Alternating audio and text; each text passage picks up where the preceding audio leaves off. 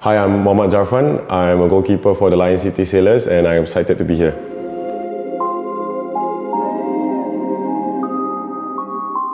Well, of course, uh, it's always been a dream to come to this big club, uh, the biggest club in Singapore for me.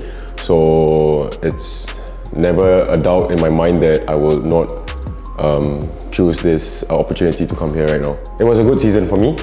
Um, I would say that I rather, I mean, I, I, did pretty, pretty, pretty well in the goal. Since day one, I told, I tell myself that I'm always ready for whatever um, I have to face in the coming future.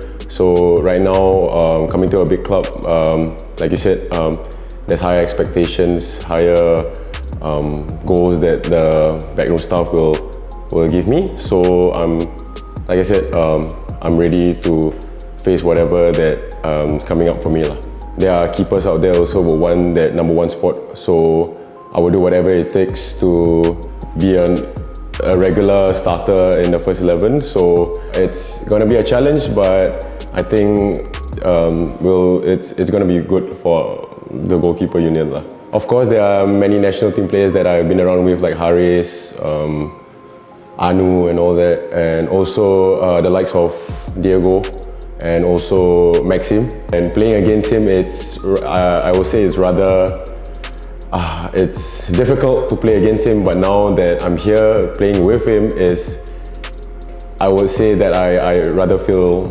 lucky lah.